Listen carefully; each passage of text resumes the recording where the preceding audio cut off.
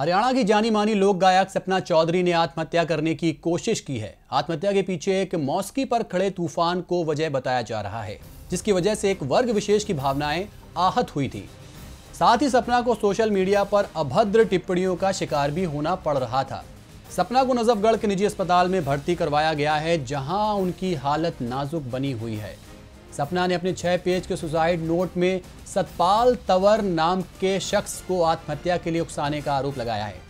तो वहीं पुलिस पर भी सवाल उठाए हैं। दरअसल सतपाल तंवर वह शख्स है जिसने फरवरी में गुड़गांव के गाँव चकरपुर में हुए कार्यक्रम के बाद सपना के खिलाफ जातिवाद का केस दर्ज करवाया था। सपना चौधरी ने गुरुग्राम के गाँव में एक रागनी गाई थी जिसको लेकर सपना पर आरोप था कि उन्होंने दलित समुदाय पर अभद्र शब्द इस्तेमाल किए। सतपाल तंवर ने सपना के खिलाफ एस सी एक्ट का मुकदमा दर्ज कराया, जिसके बाद सपना चौधरी ने फेसबुक पर माफ़ी भी मांगी थी।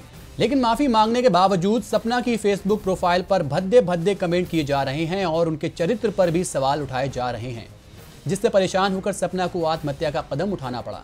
अपने सुसाइड नोट में सपना ने हरियाणा के मुख्यमंत्री मनोहर लाल खट्टर से भी न्याय की गुहार लगाई है। फ़िलहाल दिल्ली पुलिस पूरे मामले को घंगालने में लगी हुई है। सोशल मीडिया के फ़ायदे अक्सर आके जाते हैं, लेकिन किसी की ज़िंदगी तबाह करने की साजिश भी इसी मंच पर रची जाती है, और शायद सपना चौधरी इसका सटीक उदाहरण है। देखते रहिए डीबी लाइव।